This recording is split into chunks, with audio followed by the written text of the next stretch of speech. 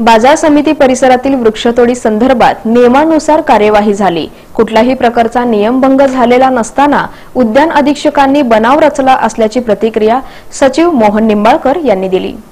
महापालिकेचे उद्यान अधीक्षक निशिकांत कांबळे हे आपल्याच कार्यपद्धतीनं वादाचं कारण बनत चाललेत. दरम्यान बाजार समिती परिसरातील वृक्षतोडी संदर्भातील त्यांचा पवित्रा हा त्यांनाच अडचणीत आणणारा ठरण्याची शक्यता आहे. बाजार समिती सचिवांनी वृक्षतोड ही उद्यान विभागाच्या परवानगीनंच केल्याचं म्हटलंय.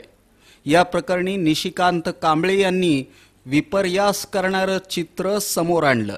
यातून गुन्हा दाखल करण्याचा बनावही त्यांनी केला. प्रत्यक्षात संबंधित वृक्षासंदर्भात रीतसर परवानगी काढून विद्युत तार तसंच वाहतुकीला अडथळा होणारी त्याचप्रमाणे उन्मळून पडणारी झाडं काढली आहेत त्याचे फोटो पाठवले आहेत शिवाय या झाडांच्या बदल्यात प्रत्येकी दहा झाडं लावण्याचंही स्पष्ट करण्यात आलेलं असताना उद्यान अधीक्षक निशिकांत कांबळे यांनी दिशाभूल करणारं चित्र निर्माण करून गुन्हा दाखल करण्याचा बनाव केला.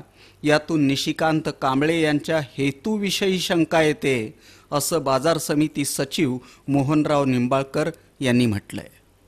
त्यांनी आम्ही रितसर मागणी केली. त्यांच्या आदेशाप्रमाणे एका झाडाच्या मोबदल्यात दहा झाड लावतो असं लेखी संमतीपत्र विनंती केली.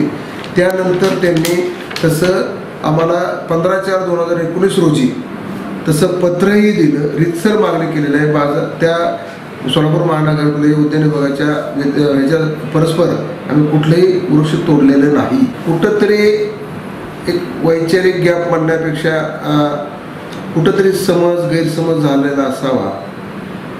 प्रशासकीय जी काही तरतुदी आहे जे काही कारवाई आहेत त्या सर्व आपण रितसर मंजुऱ्या घेऊनच संबंधित आमच्या कर्मचाऱ्यांनी उपक्रम केलेल्या आहेत. त्यांनी जे आदेश दिलेले आहेत आपण एका मोबदल्याच्या बदल्यात दहा झाड लावतो त्यामध्ये लेखी संबंधी पत्र दिलेलं आहे. त्याच्यावर त्यांनी त्यांचा एक छापील फॉर्मॅट आहे म्हणले की आम्ही झाडं तोडायला आम्ही कुणालाही मंजुरी देत नाही आमचा एक फॉर्मॅटच आहे. फांद्यातच तुम्ही करा आणि दहा झाडं